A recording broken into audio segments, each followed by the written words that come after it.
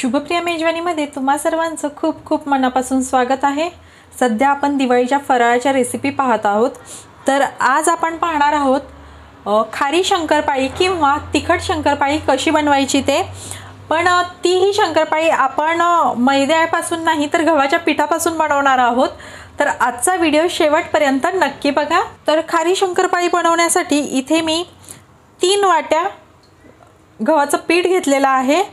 ह्या जागी तुम्ही मैदासुद्धा वापरू शकता. मी इथे गव्हाचं पीठ घेतलेलं आहे तीन वाट्या. त्यानंतर ह्याच्यामध्ये मी एक चमचा ओवा आणि एक चमचा जिरं असं जाडसर कुटून घेतलेलं आहे तुम्ही बघू शकता. अगदी पूड नाही केलेली आहे पण जाडसर कुटून घेतलेली आहे तर ती घालत आहे.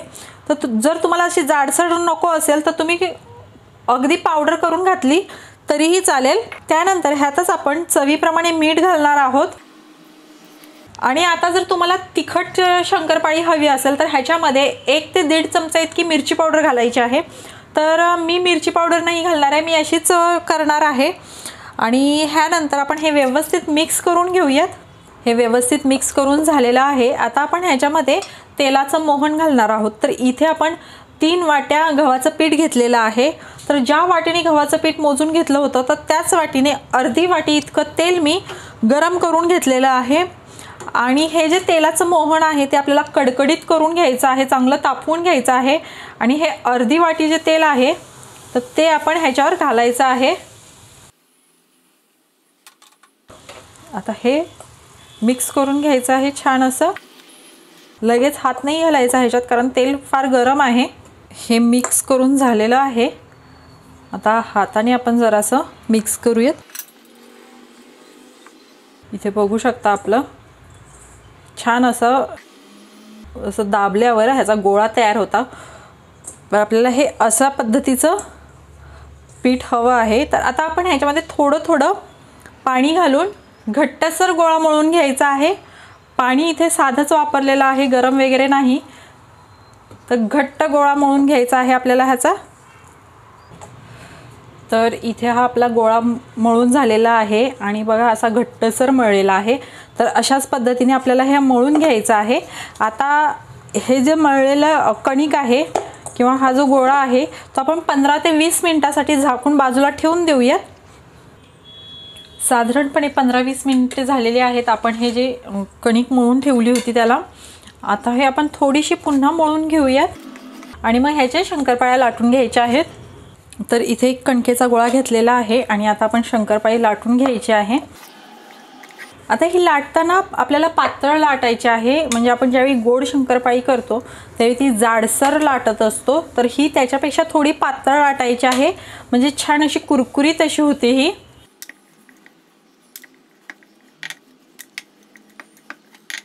तर इथे आपण लाटून घेतलेली आहे. आता ही कट करूयात. आता तुम्हाला ज्या आकारात शंकरपाळी हवी आहे त्या आकारात कट करायची आहे लहान मोठी.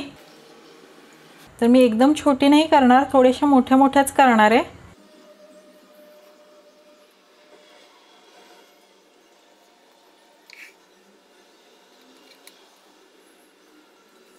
हे बघू शकता अशा पद्धतीने केलेले आहेत.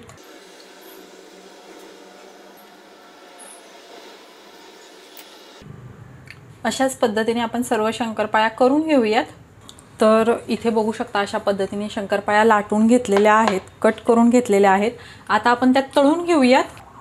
तर इथे मी गॅसवर तेल गरम करायला ठेवलेलं आहे आणि तेल छान तापलेलं आहे आणि गॅसची फ्लेम जी आहे ती मध्यम ठेवणार आहे मी.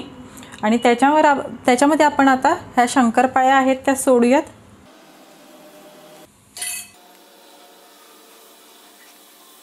छान अशा आपल्याला ह्या खमंग तळून घ्यायच्या आहेत. शक्यतो आपण शंकरपाळी वगैरे मैद्याची करतो तर ही गव्हाच्या पिठाची आहे. त्यामुळे नक्कीच हेल्दी आहे मैद्यापेक्षा तरी. आणि खूप छान असा ऑप्शन आहे जरी घरात आणि इतर दिवाळीला नाही पण इतर वेळी जरी तुम्हाला असं मधल्या वेळी काही खाण्यासाठी करायचं असेल चहाबरोबर वगैरे तर खूप छान असा हा ऑप्शन आहे. आणि गव्हा गव्हाच्या पिठाच्या आहेत पण चवीला जबरदस्त लागतात अतिशय सुंदर लागतात ह्या शंकरपाळ्या. आणि तुम्हाला तिखट हवं असेल तर मी मगाशी सांगितल्याप्रमाणे ह्याच्यात एक दीड चमचा मिरची पावडर टाकायची आहे म्हणजे तिखट होतात. पण ह्या अशाच मला फार आवडतात मिठाच्या त्यामुळे मी नाही घातलेली आहे. आपल्या ह्या शंकरपाळ्या छान अशा तळल्या गेलेल्या आहेत तुम्ही बघू शकता. कलर सुंदर आलेला आहे. आणि ह्या तळताना मध्यम आचेवरच तळायच्या आहेत अजिबात घाई करायची नाही. कारण काय आहे हे गव्हाचं पीठ वापरलेलं आहे त्यामुळे त्याला कलर लगेच येतो. तर तुम्ही फास्ट गॅसवर केलं तर कलर तरी येईल पण त्या तळल्या जाणार नाहीत व्यवस्थित. त्यामुळे अजिबात घाई करायची नाही मध्यम आचेवरच तळायच्या आहेत. तर ह्या तळल्या गेलेल्या आहेत आता आपण काढून घेऊयात. आणि अशाच पद्धतीने आता राहिलेल्या सर्व शंकरपाळ्या आपण तळून घेऊयात. तर इथे आपल्या गव्हाच्या खारी शंकरपाळी बनवून तयार आहे. आणि बघू शकता खूप सुंदर त्याला कलर आलेला आहे. आणि छान अशा कुसकुशीत झालेल्या आहेत. मी तुम्हाला एक तोडून दाखवते.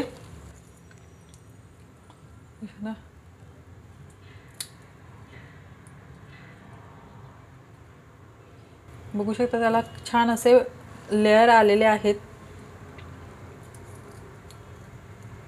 खूप छान लागतात चवीला. त्यामुळे तुम्ही सुद्धा अशा एकदा नक्की बनवून बघा. आणि महत्त्वाचं म्हणजे गव्हाच्या आहेत त्यामुळे नक्कीच पौष्टिक आहेत मैद्याच्या शंकरपाळ्यांपेक्षा.